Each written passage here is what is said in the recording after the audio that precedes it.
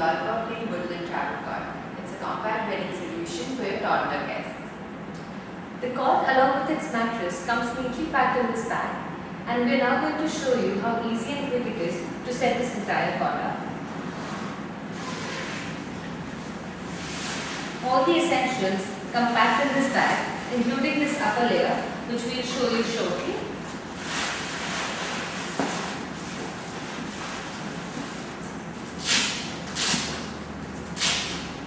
Is the mattress and this is also part of the upper layer which will be used later.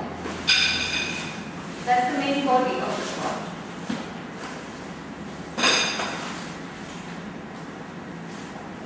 It's actually very simple to set it up because all you do is pull up all sides. There are these locks which need to be pulled up and the four sides are ready. Lastly, there's this center lock which needs to be put down and your cot is ready for the mattress to go in of course.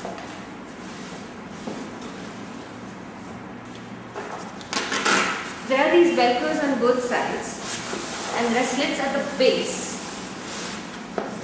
into which the velcro goes in so that the mattress can stay put in its position once fixed. And that's that. The cot is ready.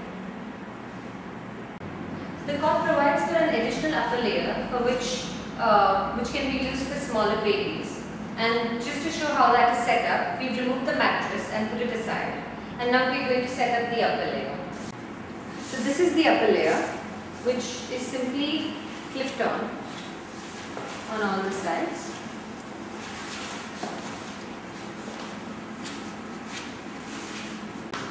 So in order to give the mattress some support, we have these rods. We fixed one rod here and we'll just show you how the other one is put up.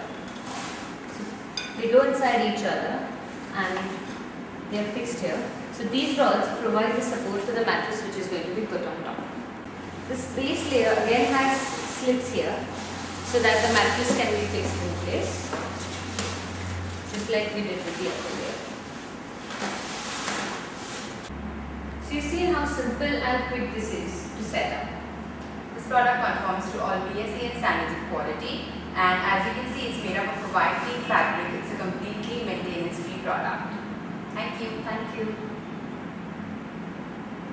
Now we'll quickly show you how to fold this cot up. We've already removed the mattress from the bottom.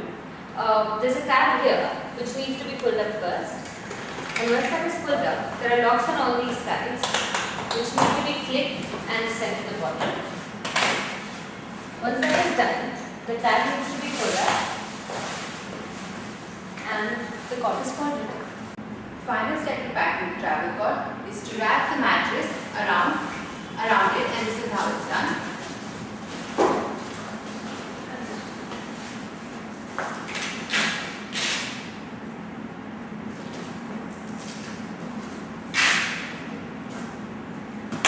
Ready to go in its carry bag and away. Thank you. Further. Thank you.